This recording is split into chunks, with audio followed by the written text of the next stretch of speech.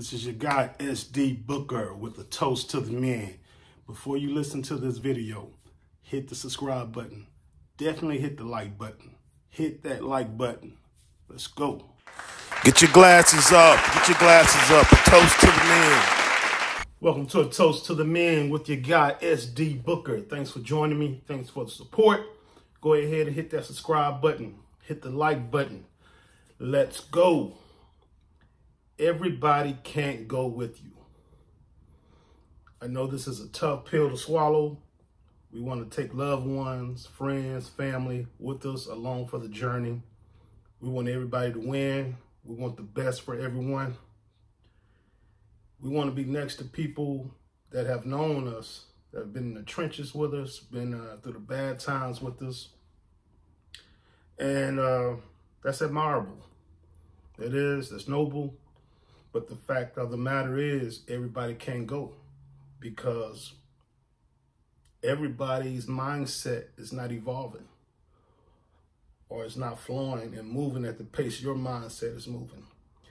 And so you'll mess around and take people with you that are not ready for that platform you're going to, for that stage, to be around those circles, and they can mess up your whole thing, man. They can mess up, corrupt your mindset if they bring toxicity to it, or, hey, fumble the bag because of behavior, uh, mindset, actions, and uh, that can hurt you. So, you know, every year you need to do an audit. You need to do an audit to see who's a liability, right? Who's an asset. And you got to do this with family and friends. Uh, who's toxic? Who's bringing drama? Who's bringing gossip? Who's adding value? Who's taking away?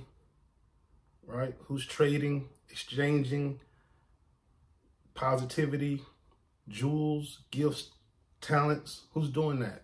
Who's motivating? Who's giving sound, heartfelt advice to you? Or who, who's bringing negativity? You got to do that. I hear a lot of people saying, and this this runs rampant in, in our culture, you know, the black culture. People saying, my day ones. They may post a picture, a photo on social media, and they'll caption it, caption it with uh, my day ones.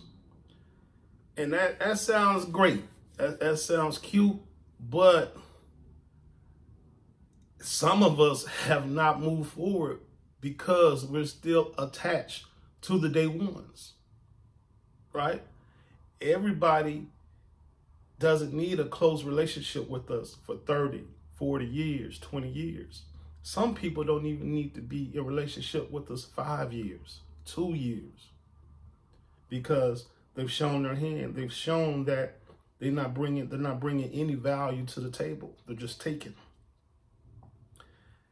prime example, man. Uh, you know, I like telling stories. So this is back probably, definitely over 20 years ago. I was working for uh, Texas Instruments. Probably my second IT job. Uh, you know, know anything about Texas Instruments? Uh, cool, large company, corporation. And you know, I, I enjoyed it there. So we were having a team building event uh, after work, and they said we could bring family and friends. So I said, well, man, I'm gonna invite my boy out. You know, been knowing him since uh, second, third grade. I said I'm gonna bring him out. He can come out here and uh, enjoy it. Food's free, drinks free, and uh, hey, that's who I'm comfortable with. That's, that's my guy. He gonna come out, enjoy this. Man, so he comes out and he has a great personality, right? Great personality, very friendly and uh, charismatic, great personality. But his mindset hadn't evolved and he couldn't or didn't know the room you got to know the room, where you at, what's at stake. So he comes to the event. It was at main event. Actually, it was at main event in uh, Plano. I think that's Plano. he comes out and, uh, you know, I'm introducing him to everyone. Like I said, he's charismatic, cool guy.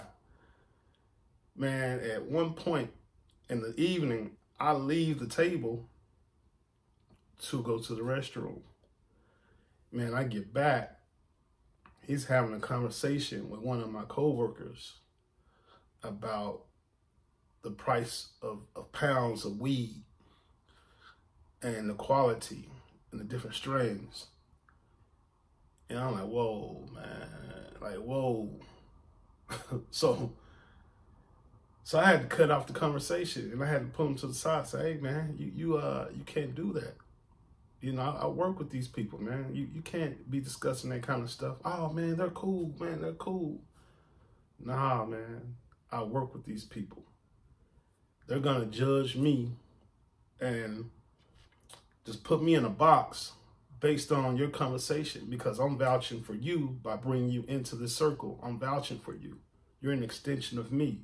You're a reflection of me, right? Birds of a feather flock together.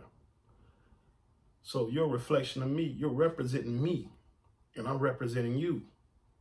And he just didn't get it. He didn't get it. And uh, so, yeah, after that, I had that was a lesson for me. Um, it was a good lesson early that I can't bring everybody along. Everybody's not ready, and uh, hey, and that includes me uh, sometimes too. Maybe you know, uh, maybe in certain situations, I wasn't in certain time frames in life. I wasn't ready for certain things to be in certain rooms. Um, I never would have done anything like that, what he done. I did, but I got more sense than that. But, hey, I w- I wasn't ready for certain things, I'm sure. So everybody can't go along. And you got to be okay with someone not taking you along because maybe you're not ready. And you got to have so much love and respect and admiration for that person that you're willing to not go along without there being any bitterness, any beef, any spite, because you want that person to win at the end of the day. Now that's that's a true friend, and that's love. Regardless if I'm going along with you to the mountaintop, maybe I ain't ready, maybe I ain't got my stuff together, but hey man, you go along because you're headed somewhere and I want you to win. Hey, that's good stuff, man. That's good. That's that's a true friend, and like I said, that's real love. But you have to have a keen eye, have to be mindful, and you have to actually remove emotion uh, from the equation when you're analyzing who should go along with you. Uh, got to remove ego. Got to remove that. Got to think logically, and uh, you can take some people some people you can't, and that's okay. Now, that's not saying that you guys won't meet again at the top. And that's not saying you got to totally cut someone off. You know, you may not just need to uh, have a relationship at a distance or periodically check on one another. But maybe they don't need to be in close vicinity uh, within your circle or what you got going on and hey, you got to do it. It's, it's, it's paramount for your growth, for your success, for you to know when to cut off situations and when to build upon relationships also. Telling you. So a lot of you talking about your day ones, your day ones, and you're bragging about that.